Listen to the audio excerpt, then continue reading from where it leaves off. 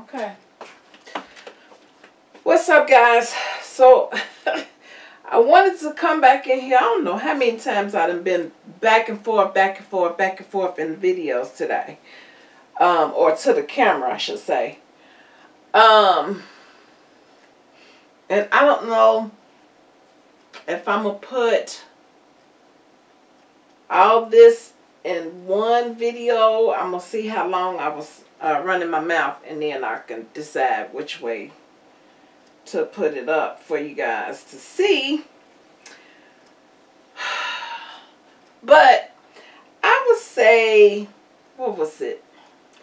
It was fairly right around the time everything hit with the coronavirus. Matter of fact, it was the first week and a half. And I knew going in, I was like, okay, I'm not scared. I'm not afraid because I've been prepping myself for this basically by having a strong foundation with God, right? One, which is the best way to be ready for anything, good or bad. You know what I mean? As long as you got God, he gonna make everything okay. Like seriously. But I wasn't scared going in. And I said, you know, and and actually I saw a couple of my um, casino friends from back home, from back in Indiana. I saw them basically saying the same thing and thinking the same way is, you know, don't use this time to just sit around and do nothing, you know, especially the way I was thinking about it is is if you don't have any kids at home, this is your prime time. This is your prime time to do and research and look into and discover and examine and um, and indulge in. You know, this is this is your time right now to do that. You got nothing but time on your hands. So, to the parents that's out there raising kids, helping to raise kids, whatever, woo woo woo. You say, well, I don't have time for that because I got to, excuse me, I got to tend to myself because you got kids, you got to do yourself first so you strong enough to do them. I always tell y'all that and you have to do that. So, you have to um, take care of yourself first. Do what you need to do by yourself first, right? And then, okay, you say, well, I got the schoolwork to do with the kids. How am I do that too? I told y'all you got to sit down here, make you a schedule. If you got to write it down, if you like me, because I'm to the point right now, I got to write it down, honey. Is I got to write it down. I just do. Um, write it down so you you have that schedule just like many of us have a nine to five, whatever time to whatever time, right? In our in our everyday lives. You got eight hours still. You still got those eight hours to do something. So carve that time out. You ain't got to carve out all of it if you don't want to. Because most of us really, after after five, six hours, we, we, it, we done anyway, right? Okay, so now you could take, instead of eight hours, now you could take your uh, six hours. That'd be, try to be your work time. Even if you got to dissect that time up, still get your six hours of work in somewhere. somewhere. Look, my bed is made up. Make up your bed every day. Do you do your same routine that you was doing when you was going to work. Do that at home. Use that for something productive at home. My, and I thank God. Oh, I thank God for the mother that I have. That woman is a blessing. She always taught us, if you doing nothing, you wasting time. If you got time to waste, find, you better find something to do. And that's how we live. That's how we operate. Me and my sisters and my brother, that's how we operate. We operate in that form and fashion. And it's gone down generations. She's passed this knowledge down to the younger generations through us. And that's how it's supposed to be. You're supposed to pass that knowledge on. You don't get it and then don't pass it on to the little ones. Come on, man. Anyway, use this time to find out what it is you want to do with your life. Because I'm looking, we coming out of this. And it's all in what how you gonna look when we come out of this thing. How we gonna look when we begin to turn the corner to whatever is down that road. Nobody knows what's down that road. That's the reason why we're afraid. That's the reason why you have the fear. We and that's what God is trying to tell us. He he said you become complacent in my presence and in your life. And no, we can't have that. I need some fire. I need to see some people with some fire in them. That's what I want to see. And that's what God was is telling us. I need the fire back under you. Like you once had it before. I need to see that. And so that's the reason why all this is transpiring. And we have to use it for what he has given it to us for.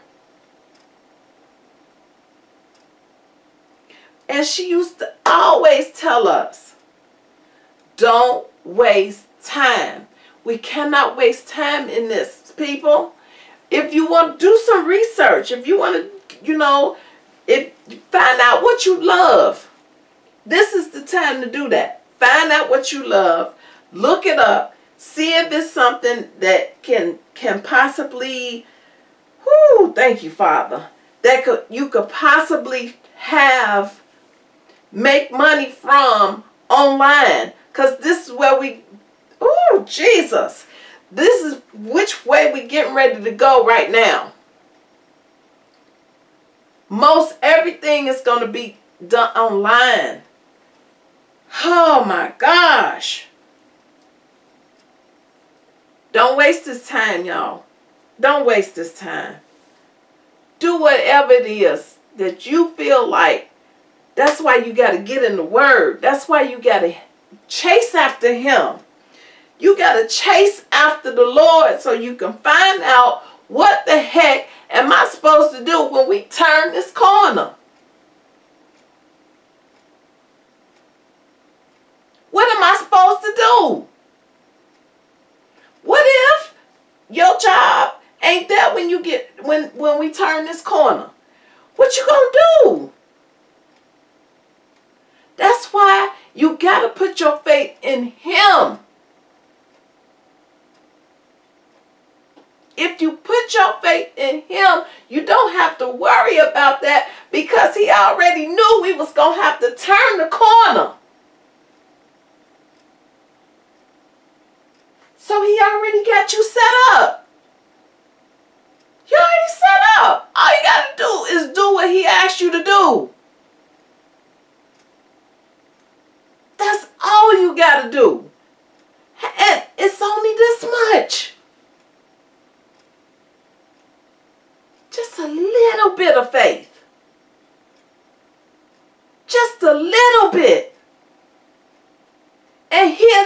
from there.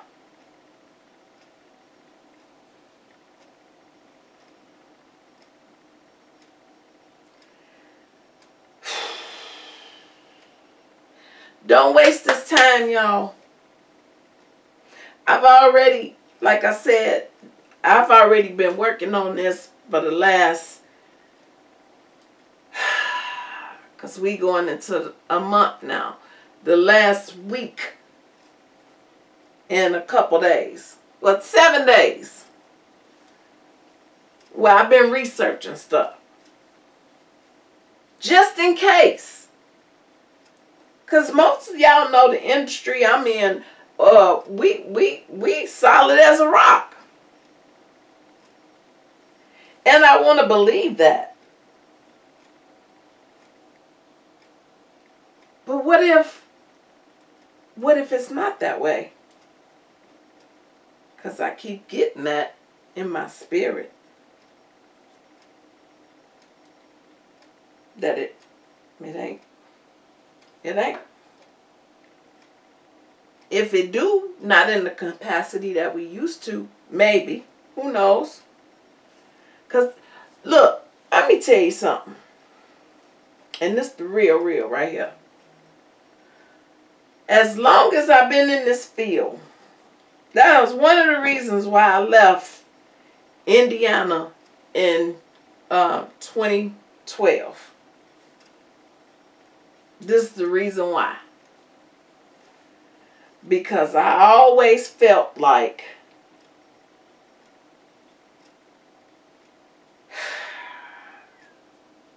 this field that I work in is is is not right. For God. You know? Ooh, we. Mm. Mm, mm, mm, mm. And when I left Horseshoe, before I left, I talked to my mom about it. And I, I asked her, I said, Mama,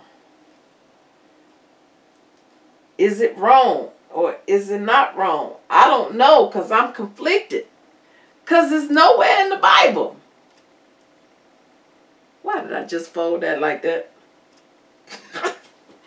it's nowhere in the Bible that says that that is wrong. That being in the casino is wrong. I, I didn't find it. But it never sat right inside of me even even where I'm at now, it never it never set right inside of me. So I don't know. You know, and people will ask, you know, well, will you go back? I mean, because this is a question we have to ask ourselves now. Would you go back to a place where uh, there is an abundance of, ooh, child, maybe I better leave this alone. Because I don't want to sound ungrateful, you know what I mean? And it's not to the people that I work with. Yeah, let me, let me leave this alone right here.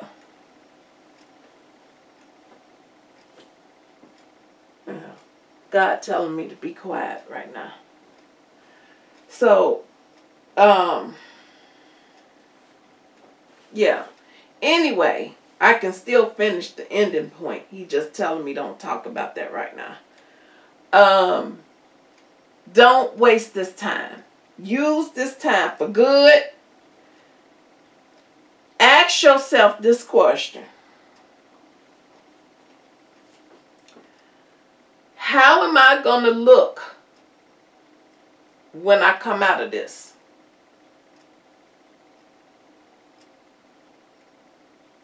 Am I able to change according to what it's going to look like when we come out of this?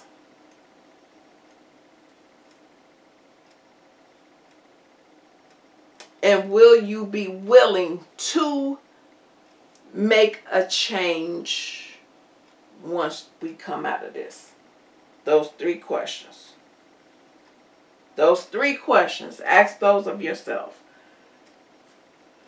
And let me get off of here. Um, because I need to get this stuff handled. And um try to get me a decent, oh child, well, forget that. 1205. Um, yeah, forget that because I gotta finish this, get in the shower, and then go to bed. So anyway, y'all, let me get off of here so I can do just that. Um,